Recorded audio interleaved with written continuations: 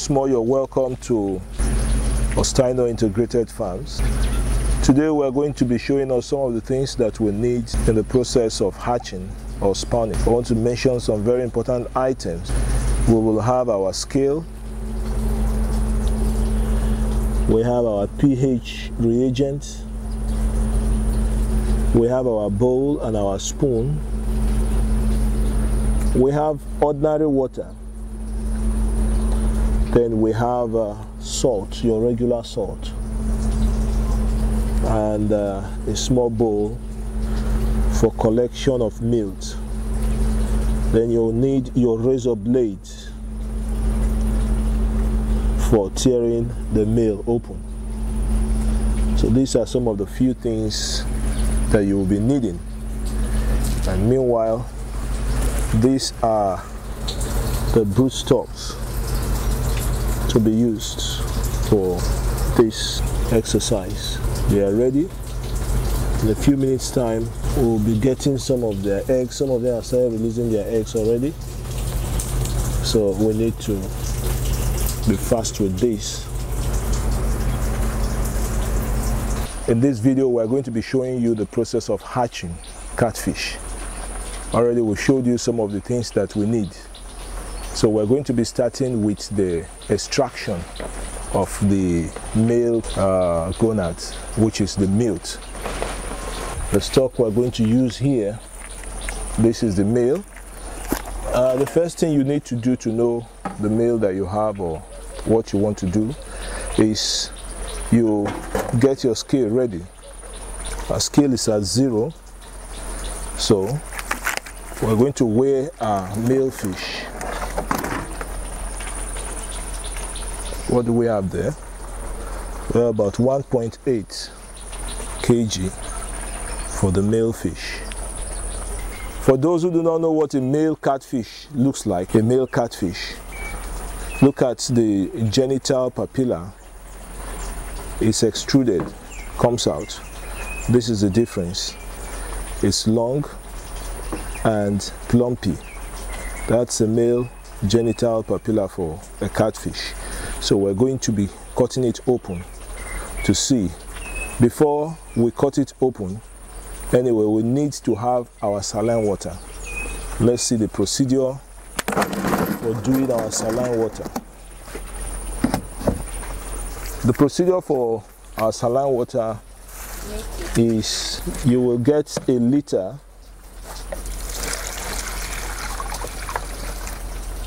this is one liter of water. And this water should be borehole water or normal water. Don't use a pipe borne water that has been treated with chlorine. It will spoil your work. You don't have to do that. The next thing is you get your scale and get your salt. Get your scale get your salt. We measure 9 grams of salt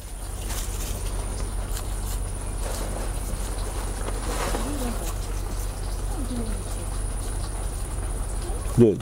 This is 9 grams to a liter. What we want to do now is to make our saline water. You pour this 9 grams of salt into 1 liter of water. Here we have our saline water. You need this saline water to make the milks immobile so that uh, the sperm will not just be active immediately. This saline water puts it in a dormant state. That's why you need it. You don't need any ordinary water around you. All you need is saline water. So we're done with that. The next thing we're going to do is to get the milk out of the male.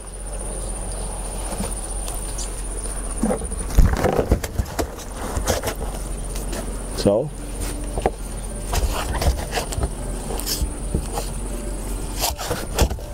to be very stubborn. So what you do, you tear it.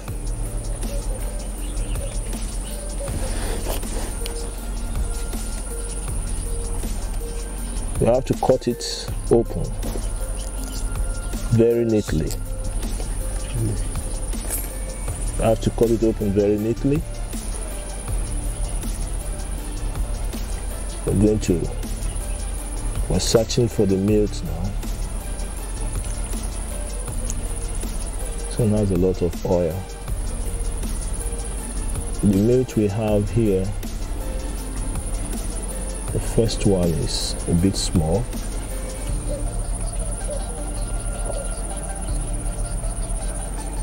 is what we're after. It's okay though it's not big but you can see the whitish edge. That's what we're after. Usually there are two. Let's search for the second one. Right. This is the second one. This is how you extract your milk. Saline water on ground. So the next thing is to cut the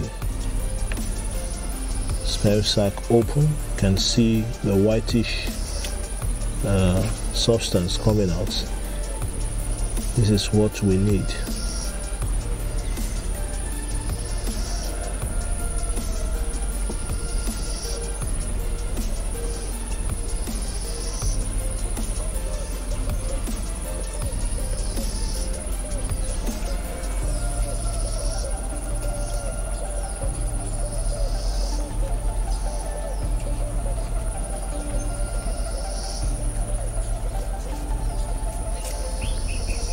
Is what we actually need here. We'll try to get everything out. Now the way it is now, we'll need a bit of saline water to actually strain everything out here. You can see it.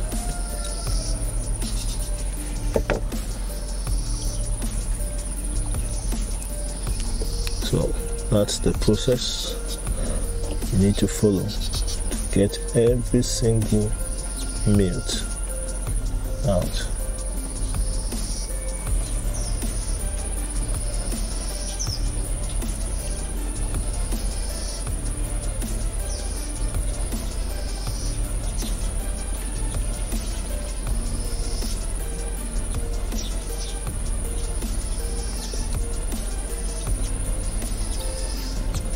so by this action we have our milk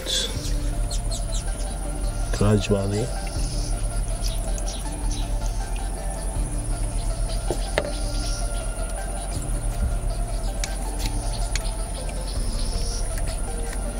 All this uh, white substance you are seeing is very important at this point. You need every drop of it